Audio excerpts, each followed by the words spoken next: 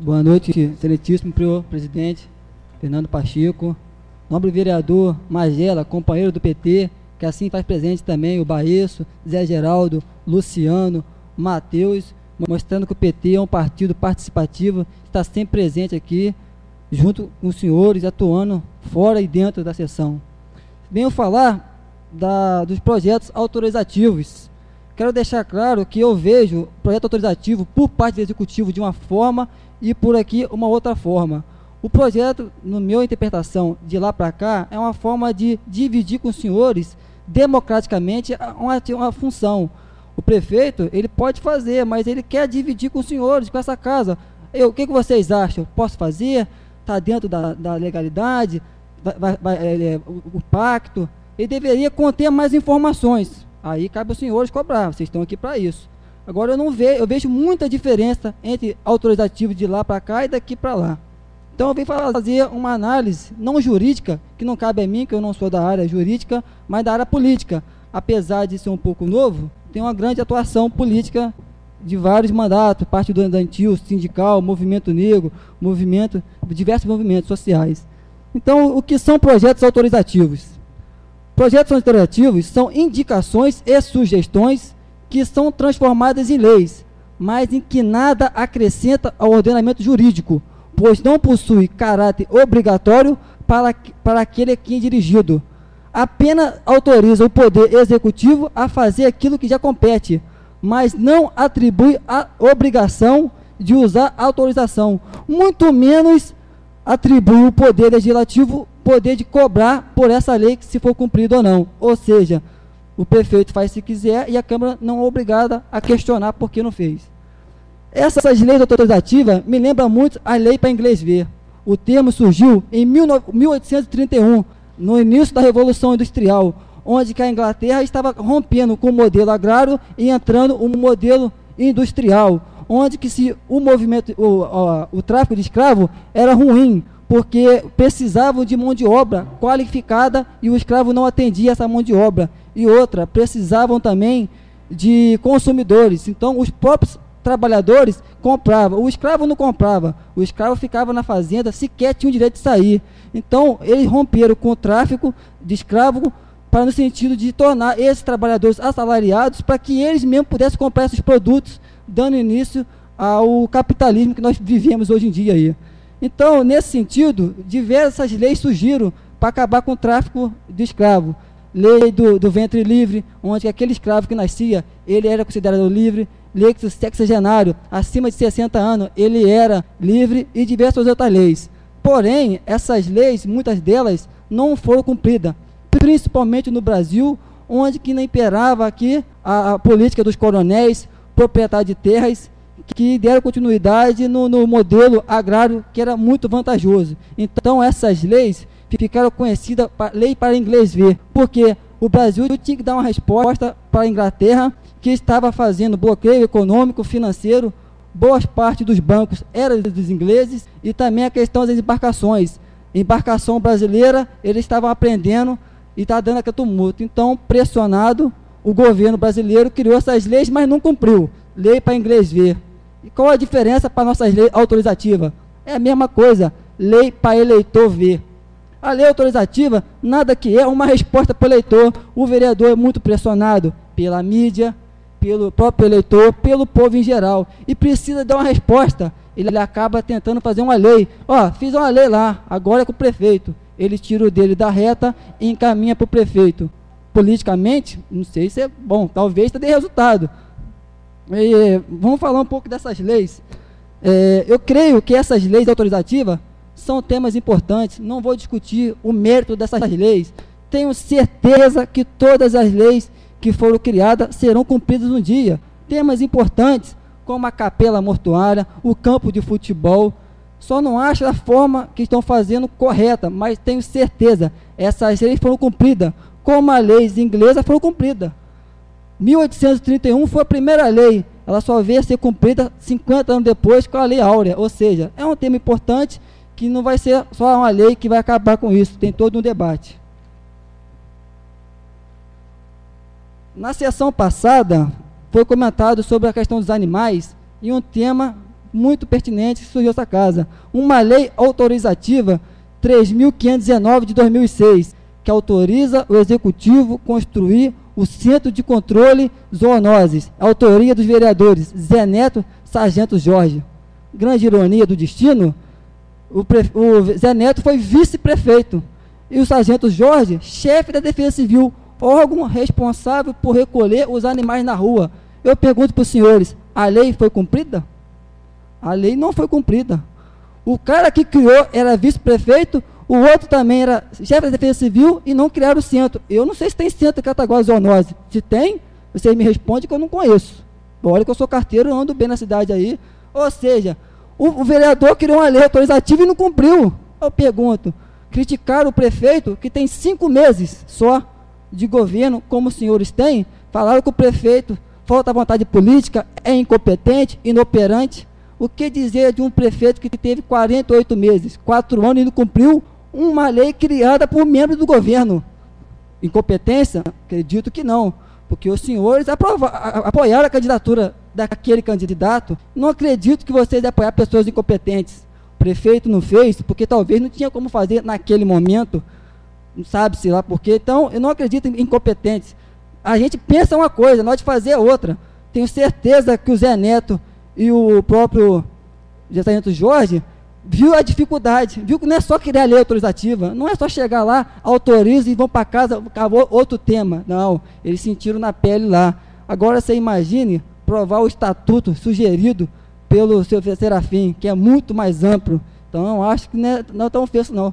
Tem que precisar de um grande debate aí, para não fazer uma lei, para ser inglês, para inglês ver, para eleitor ver e para crítica criticar. Em relação à lei também, a lei, a lei 2.991 de 2001 de Titonelli, outra lei autorizativa, não foi cumprida também legislatura passada. Faltou vontade política? O, vamos relembrar quem era o secretário. O secretário de esporte era jogador do Vasco, dirigente de clube. Hoje é o atual presidente do clube operário, que a lei que beneficia o clube. Por que, que ele não aprovou a lei? Faltou vontade política? Incompetência? Inoperância? Que, por que, que não faltou? Uma lei de 2001 que não foi cumprida. E essa casa quer alterar. Era prever três times ganhando 2 mil. Querem passar para cinco ganhando 5 mil. Não é mais fácil tentar cobrar do jeito que está? Está mais fácil? Para que alterar uma lei que não é cumprida? Não é perder tempo com o debate que está sendo desde 2001 a lei não é cumprida? Querem alterar, modificar. A lei é tão complicada, tão complicada, que até para provar aqui está difícil tira time, inclui time, bota leque, tira leque, só besta, pede vista, o próprio autor pediu vista e vem para cá e vai para lá. Para você ver como é que não é fácil ser aprovado. Para ser aprovada, imagine ser colocado em prática. Então, acho que nós temos que debater melhor sobre o tema. Vejo essa lei autorizativa é, uma forma. O que, é autorizativa? Através dela, os vereadores podem tudo, parece isso. E ela, eu acho que foi inspirada na lei de Raul Seixas, Sociedade Alternativa. Faça o que tu queres, há de ser tudo da lei. É o que pregava o grande Milton Raul Seixas. A lei autorizativa é isso. O vereador pode autorizar tudo, parece. Pode autorizar o prefeito a andar de bicicleta para incentivar o trânsito. Pode autorizar o prefeito a dar cambalhota. Não pode, não pode. O que, que a lei autorizativa não pode fazer? Pode tudo. É isso que os senhores querem fazer? Sai autorizando tudo? Vamos autorizar tudo? Eu acho que tem que fazer um grande debate sobre moralmente e politicamente, não ficar só juridicamente. Ah, pode fazer, vamos fazer. Não, vamos estudar melhor o caso, para não fazer essas leis vazias, leis que não sendo cumpridas, aumentando. Eu estou fazendo um levantamento das leis, Cataguase tem 4 mil leis, e boa parte delas não estão sendo cumpridas. Eu estou levantando essas leis aí, e vou trazer aqui depois quais são as leis que estão sendo cumpridas ou não. Em relação aos debates, é, apesar de não ter nada que impede a lei autorizativa, nós temos diversos pareceres. Isso eu vou citar um parecer de 1994 da Constituição, Justiça e Cidadania da Câmara, onde ficou o seguinte, uma súmula jurisprudência número 1, artigo 5 não serão aceitas proposição que objetivem. Letra B. Consulta a comissão sobre atos de qualquer poder de seu órgão e autoridades abre, entre parênteses, o parecer da comissão. Projeto de autoria de deputado ou senador que autoriza o Poder Executivo a tomar determinada providência que já é da sua competência é inconstitucional.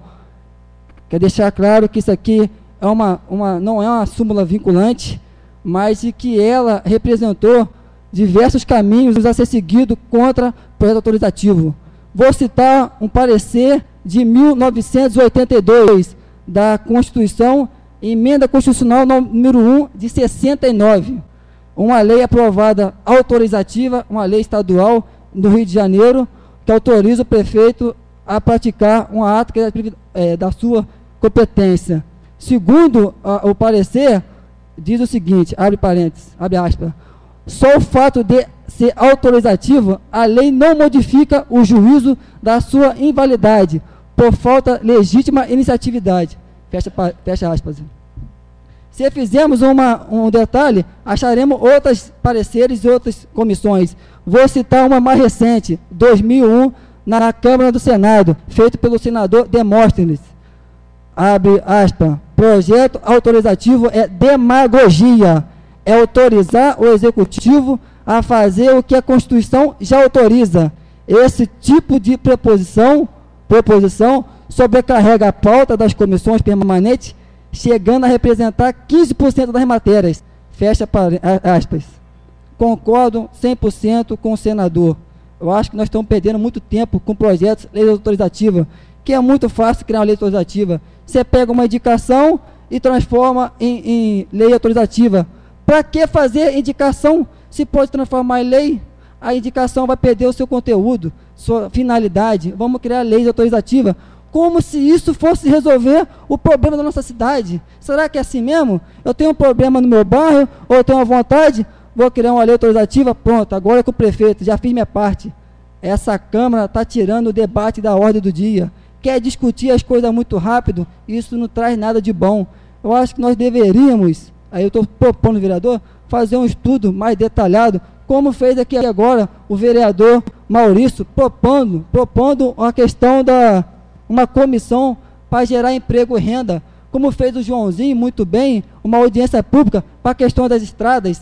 Ele poderia chegar aqui e falar: autoriza o prefeito a reformar as estradas. Ele não fez isso ele chamou a população que ia ser afetada pela essa lei, compareceram aqui nessa casa aqui, dando um exemplo de cidadania, construindo junto com o vereador essa vontade que é da população.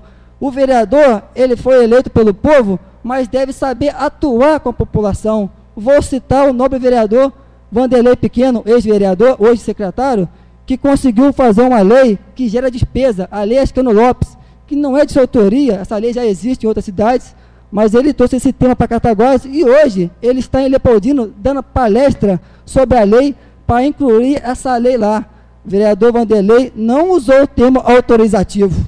Ele sabia que não cabia autorizar a Câmara, ele tinha que passar um debate. Ele convidou os artistas, mobilizou, participei de diversas reuniões, não foram poucas não. Fernanda Lobo, falecida Fernanda Lobo, estava na reunião, Manuel Messias, diversos companheiros, reunião com o prefeito, entrega do projeto, manifestações, ocupação na tribuna, protesto na Câmara, rádio. A lei foi aprovada, um sufoco danado. Ele poderia chegar aqui, autoriza o prefeito a, a, a, a criar a lei Ascano Lopes, incentivo à cultura. E aí? Ia ficar engavetado lá? Ia ficar aqui. O prefeito não gosta de cultura, o prefeito é incompetente. Isso aí a gente escuta na rua.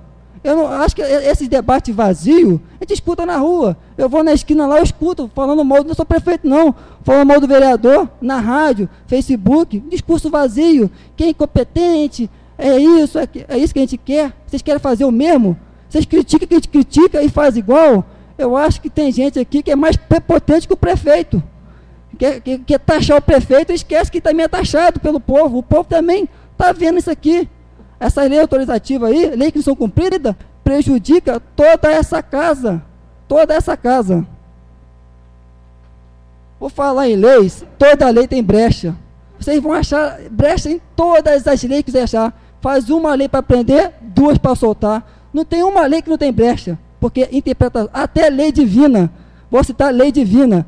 Tem uma lei, é, é, o 10 mandamento diz o seguinte: tem um ordenamento, não matarás. Está lá, ordenamento de Deus. não matarás. Foi o que mais fizeram foi morte. Mais fizeram foi morte dentro da Bíblia. Vou citar um caso aqui um homem que foi morto porque catou lenha no sábado. Sábado é sagrado. Está em número. Quem quiser conferir, tem a Bíblia aqui para quem quiser ver realmente se procede. É, lei, é, em números, número 15, diz o seguinte. Você é breve, tentar usar o tempo. Em número, estando, pois, os filhos de Israel no deserto, acharam um homem apanhando lenha no dia de sábado. E os que acharam apanhando lenha, trouxeram a Moisés e Araão e a toda a congregação. E puseram em guarda, por conta ainda não estava declarado o que devia fazer. Disse, pois, o Senhor a Moisés: Deus ordenou a Moisés: certamente morrerá aquele homem. Toda a congregação a protegerá fora do arraial. Então foi o que aconteceu. Esse homem morreu. Deus pegou uma lei, promulgou falando que não matarás. Depois ele foi lá e autorizou matar. E nós vimos mortes aí absurdas em nome de Deus e a religião. Então, toda a lei tem brecha. Por falar em brecha, vou citar aqui agora o homem que mais abriu brecha na lei bíblica foi Jesus Cristo. Ele chegou, tinha a lei do sábado, ele curou o sábado, queria apedrejar, não apedrejou. A mulher que é adúltera ia ser apedrejada, ele perguntou: aquele que não, nunca pecou, atira a primeira pedra. Jesus foi o cara que mais abriu brechas nas leis da época lá, teve seu fim trágico. O que, que Jesus fez? Interpretação. É isso que eu peço aos senhores. Interprete a lei. Não é chegar só a criar a lei. Vamos fazer a interpretação dela. É Dá para fazer? Dá. É, é, é, é, urgente? É. Vamos fazer uma comissão para estudar. Quer propor uma capela? Por que não ver o local? Ver ali a estrutura, fazer uma planta, ver custo. Não é chegar aqui, autoriza para ter capela, pronto. Agora com você, outro, autoriza o prefeito a construir, pronto. Não é assim que se faz. Pelo menos eu acho que essa casa deveria tomar um rumo melhor, tornar mais profissional, mais melhorar os debates dessa casa aqui, para ficar essas coisas aí, a crítica lá depois, vocês vão ver na urna aí, só voltou um, e muito mal, hein? Foi fácil não, hein? Agora, esse que vocês querem, votar nenhum, eu quero que volte os 15. Quero que volte os 15, porque você, eu acompanho o trabalho de vocês e vejo que vocês trabalham corretamente. Comete algumas falhas aqui, nós estamos aqui para melhorar. Não estou aqui para querer ensinar ninguém. Primeiro pela idade, falta de experiência que vocês têm muito mal que eu, gente vai pegando com vocês, mas eu quero que vocês façam uma análise desses projetos, o que é está por trás, por que a gente fazer um estudo melhor, para não ficar essa questão política, joga para o prefeito, joga para o prefeito, e o prefeito é incompetente, falta vontade de política, será que falta mesmo? Será que não falta também, por parte dos senhores, um melhor levantamento? Quem é amador? O cara que promove uma lei, uma indicação, ou o prefeito que não cumpre? Quem é mais incompetente? Não estou dizendo que ninguém é competente, como eu falei. Falta aqui uma vontade política, falta estudar melhor caso. Então, meus vereadores, não entenda que isso aqui como uma afronta. Ocupei essa tribuna hoje aqui, ocuparei mais vezes, quando for necessário. Não ficarei só aqui, irei para a rádio, para os sites, para os blogs, Facebook, tentando melhorar a vida da nossa cidade. E começa por aqui. Os debates surgem aqui, daqui que vão para a rádio Facebook.